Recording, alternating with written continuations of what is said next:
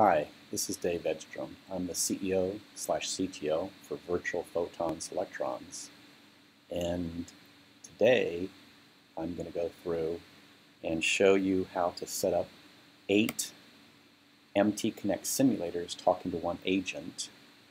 And before I do that, I just want to talk about the environment that I'm running in here. So this is on a Mac, but what I'm running is VMware with Windows 10. And the logic behind that is moving this over to run under Unix or Linux will be very easy to do.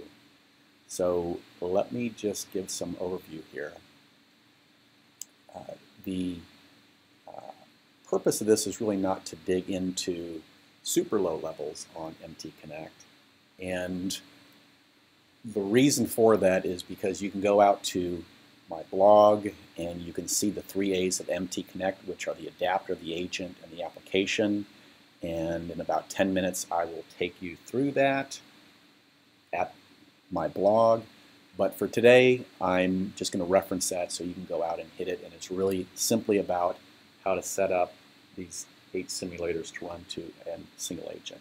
Now, just as a reminder, you can go out to agent.mtconnect.org and run the simulator. Here you see the XML that comes up.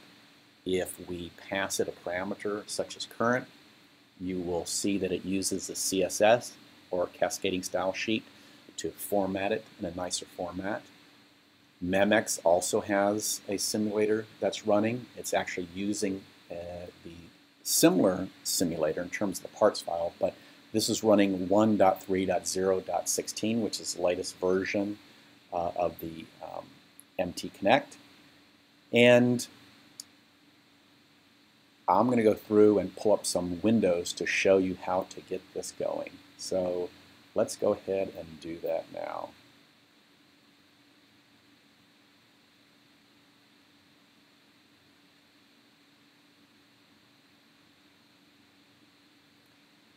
Okay, so the way the simulator works is it is a Ruby executable that reads in a data file, and the data file is a simulation of a machine tool making a part. It could be actual data that's captured, and in this case, from NIST, we're using actual data from eight different machine tools.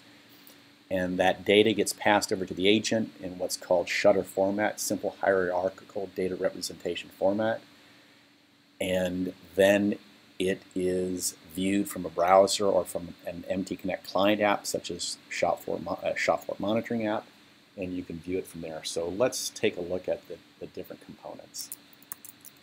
If we look at the simulator here, the simulator simply goes through and it starts up a number of bat files. And what you notice is that it starts these up on different ports.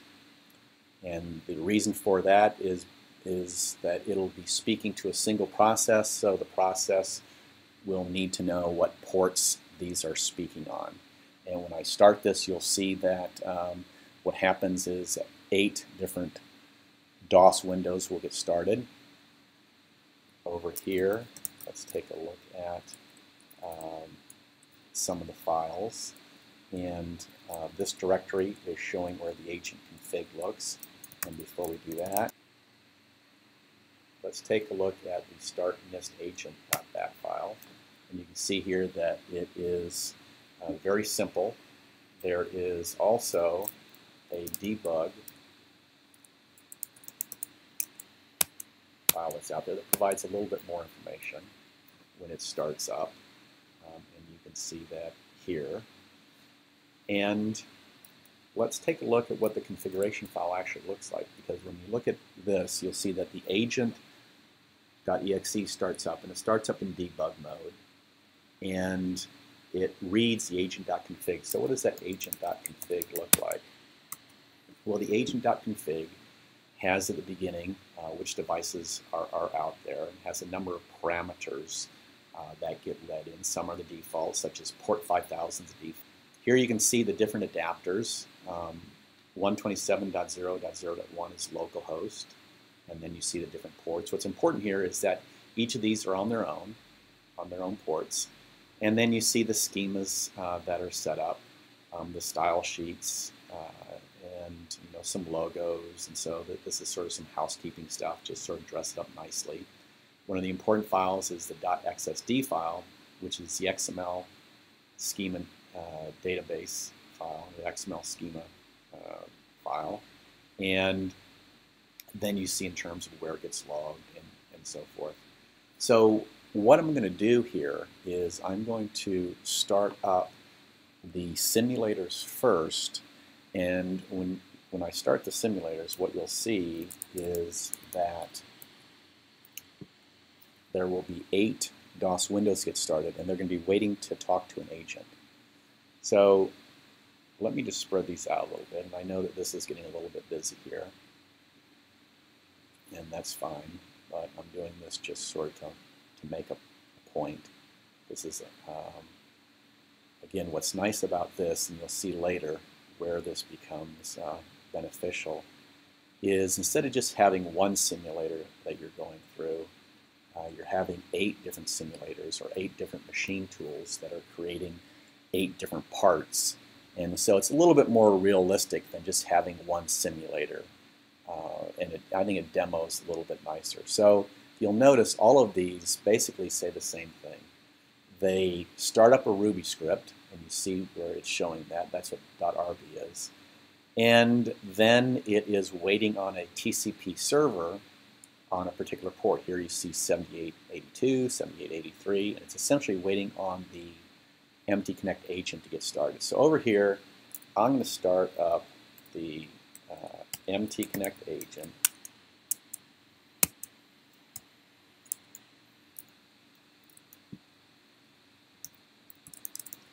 and I'm going to start it in debug mode. And when I start in debug mode, we're going to see a few messages that will pop up um, that are a little bit anomalous here. Nothing to worry about. But what's important is what you see on the left in terms of let's watch what happens on these simulators. So when I start these up, what you'll notice is that all the simulators now are sending data and it's going through and sending data uh, as if a machine tool is actually working. Now some of these you'll see some pauses because that was the nature of what the machine tool is doing. So here we're seeing uh, what's called SHDR data, simple hierarchical data representation. And it's very simple data. It's uh, a timestamp, and the timestamp is the uh, standard Greenwich timestamp uh, Zulu time. And then you see key value pairs. And so you can see that these machine tools are going through and, and running um, at different speeds. And again, this is how the timing was set up to create these parts. So how to think about each of these is it's a machine tool that is making parts, and this is exactly what the machine tool is doing at, at this particular time. So that's all well and good uh, that we're doing this, and then the agent uh, would be um, also in debug mode. We pull up information there to see what, what's going on. But where it becomes a little bit more visual is let's go over to the browser so we can see what's happening here. Okay. Now let's take a look at what end users really care about. And that is, it's more than just for example, looking at XML here at agent.mtconnect.org, or doing a current, again, this is the simulated part tool being created, or going out to simulator.memxoe.com. I'd showed what NIST is doing here, and this is very nice. Um, it's showing things in a textual format, but plants and shops really want to have something a little bit more graphical. And so an example of doing that is there are certainly paid applications that are out there for shop floor monitoring. Something that's available for free is a package called Merlin Optime. And what this is doing here is it is going out and talking to the simulated devices and it's talking to them on port 7000. Just that's how uh, the default configuration is on, on Merlin Optime. And what's nice about this is that it shows a trend. You see it shows uh, some dials. It shows what, what's going on here. So this is something that you see which is more in line with real shop floor monitoring applications. Now, obviously they'll get much more detailed than this, but this is just showing some graphics and trends and there's reporting and so forth that goes along with it. But the point is, is that everything that I showed you today is available for free. And where a lot of this exists in terms of the demos is if we go out to github.com, MTConnect, um,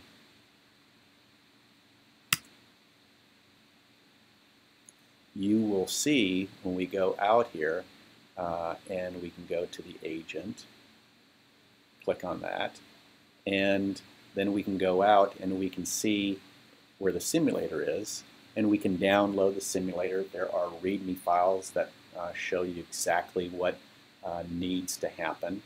And so you can go out to, to GitHub to get all of this uh, information to really understand what's going on um, with the simulator itself. You know, very, very valuable information uh, that's, that's out here. So again, this is Dave Edstrom. I'm CEO slash CTO of Virtual Photons Electrons. You can get more information about MTConnect in terms of the three A's. Um, watch that to have a better feeling. And hopefully, after watching this, that you now have confidence to go out and if you want to start learning more about MTConnect, that you can start up these eight simulators with the agent and then get a much better feel in terms of what's going on. I will have at my blog for this the links out to Dropbox to pull down all the binaries and configuration files that I referenced. Uh, as I mentioned, a number of these are already out at GitHub slash github.com slash mtconnect. So thank you for uh, watching today and any feedback, please pass it on to me in the comments at my blog. Thank you.